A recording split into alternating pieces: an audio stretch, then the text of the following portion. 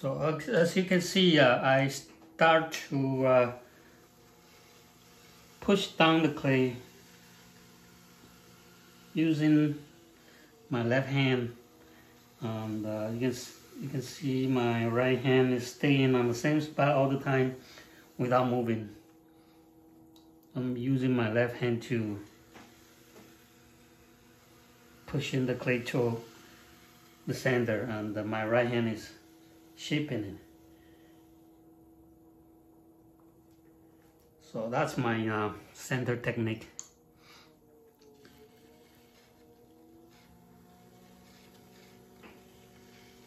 And then uh, go with my right thumb to drill the initial hole here. And then uh, using my left hand, brace my left hand, brace my left hand to my right hand. And my right hand is connecting to my left.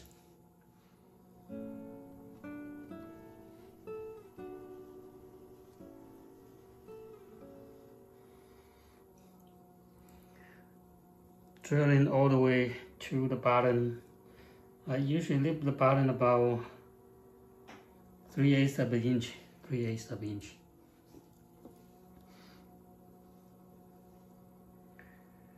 And uh, after I get to the right thickness, I, I don't usually use a needle to uh, check it. I, I know uh, exactly uh, how thick the bottom is. So I don't need to use the needle, but uh, if you don't have any experience, you can stop the wheel and uh, use the needle to check it. And once I get to the, the right thickness, I want to make sure my bottom is flat. So I am uh, widen using my fingertip to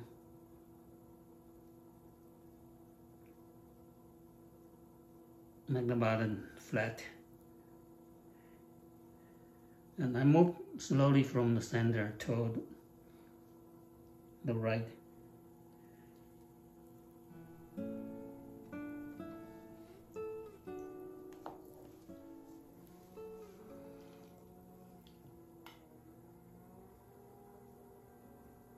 And my initial lifting, I'm using my left hand to just pinch the clay and pour it taller. Just pinch and lift it.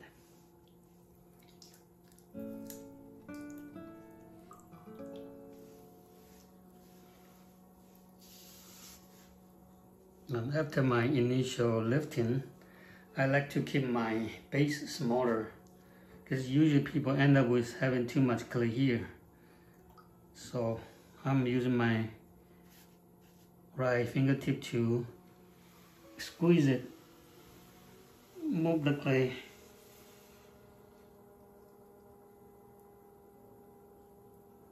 so, so my base is smaller. Okay, squeeze it in and then uh, collar to narrow my cylinder.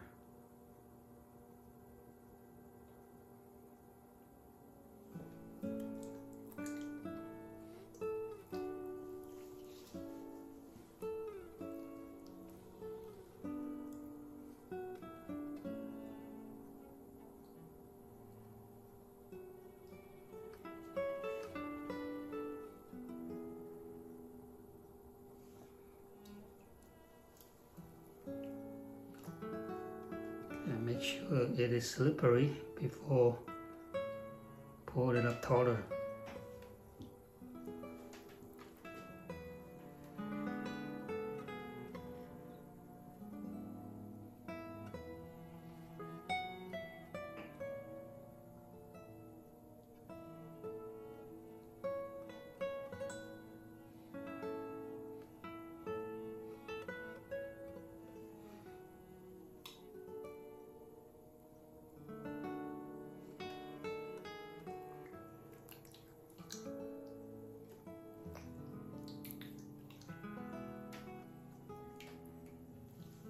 Again squeeze it in the bottom corner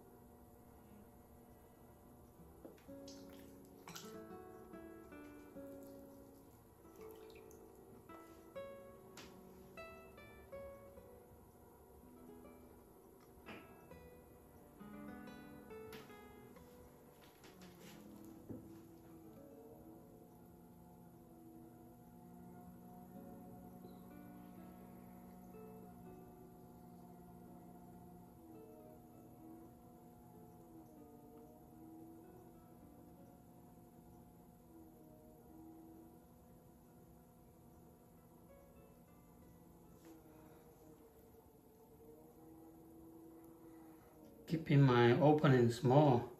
Because later on I am going to close it so I usually just keep the opening small enough. Just uh, small enough for my arm to uh, insert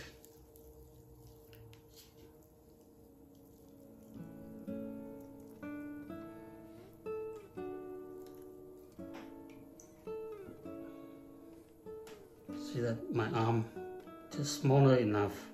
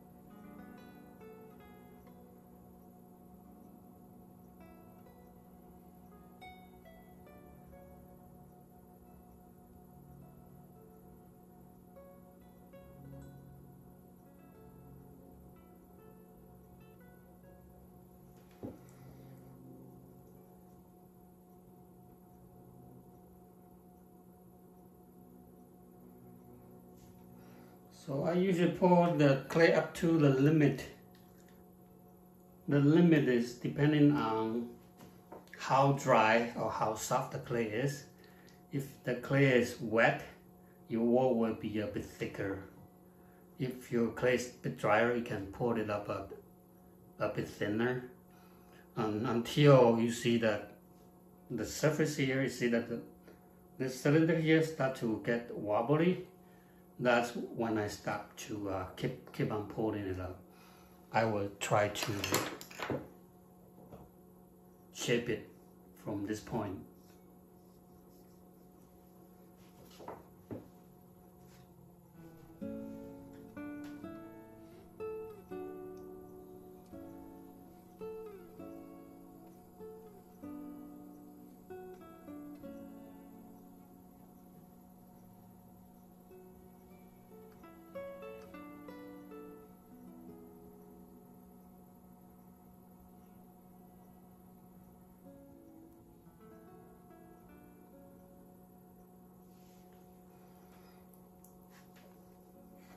First ribbon, I usually use the wooden rib to remove my foreign mark, my finger mark.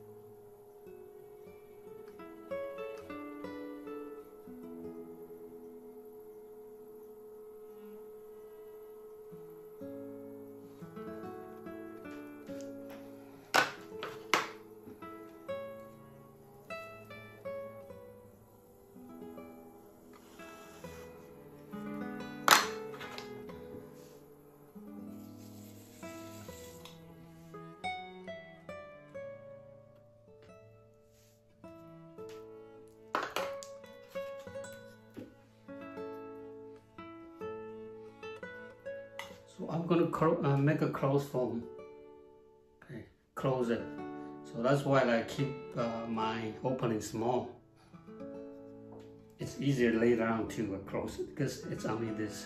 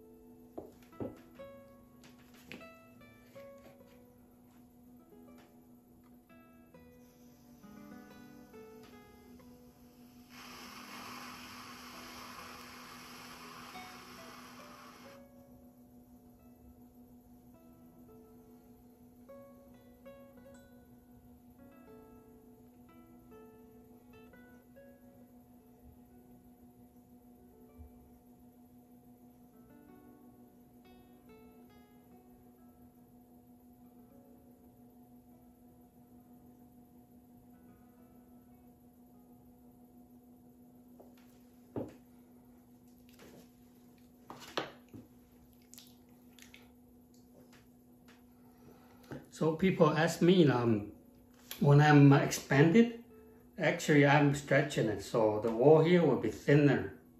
How about here? Because uh, I didn't stretch it, so this part will be thicker. So before I close it, uh, if you notice, I sometimes I am moving the clay. To thin it down. Since I didn't stretch it the top portion.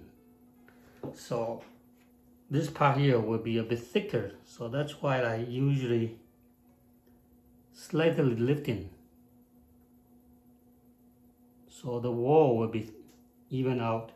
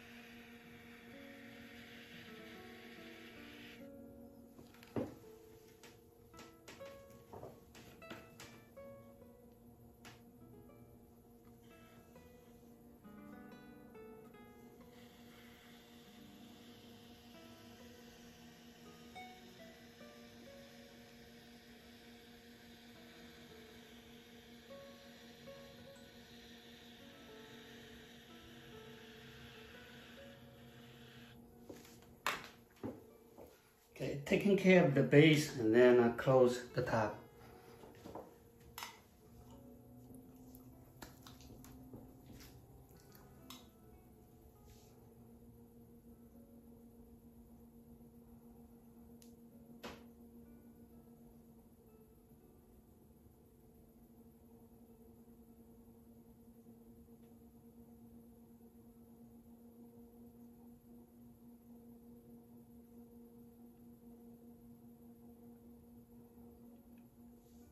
Put my finger inside to support it and slightly pull uh, using my thumb and my uh, right fingertips to uh, to move the clay, to squeeze the clay.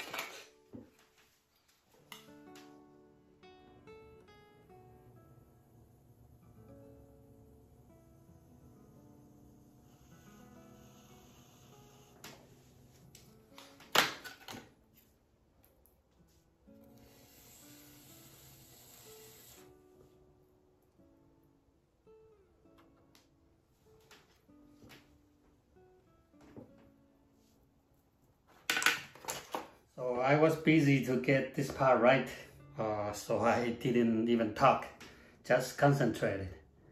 And I put a little bit of a waver line here uh, to keep the whole piece more interesting uh, looking. So I'm just going to show you uh, after I finish throwing the whole piece and also I'll show you my splash pan. Um, fairly dry all the way around.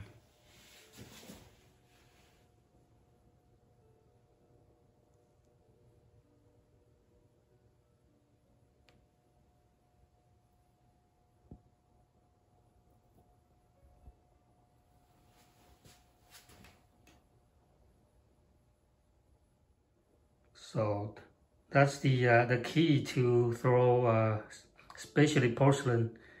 You want to use the limited water, not too much water. If you have too much water, you will weaken the wall and uh, it's easy easy to collapse. So um, while I'm throwing, as you can see the whole process, I use a lot of slip that I remove from my fingertips and just put the slip back on the wall and keep on throwing it.